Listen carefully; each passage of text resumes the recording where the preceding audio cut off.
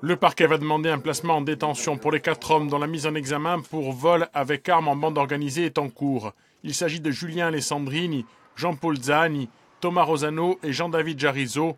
Les faits se sont déroulés le soir du 29 décembre dernier dans cet établissement d'Ajaccio, la part des anges, pour le procureur de la République. Cela ressemble à une prise de possession d'un établissement. Au moment euh, je vous parle, tout le monde ne s'est pas expliqué euh, encore sur les, sur les faits, euh, mais on sait que dans la soirée du 29 décembre, quatre personnes sont intervenues, ont isolé dans la réserve le gérant, l'ont frappé, séquestré et ont tenu l'établissement toute la nuit avant de partir avec la caisse. Donc ce n'est pas vraiment du racket, c'est donc une prise de possession quelque part. Les faits qui sont, sont qualifiés vol avec arme commis en bande organisée, ce n'est pas du racket, ça ne veut pas dire pour autant que ça, ça ne s'inscrirait pas dans un, dans un processus plus large de, de, de protection des établissements, mais on n'en a pas la preuve au moment où je vous parle. Les suspects et le propriétaire de l'établissement se connaissent. S'agit-il d'une histoire de dette? C'est ce que doit déterminer l'enquête. Julien Alessandrini et Jean-Paul Zani nient toute implication.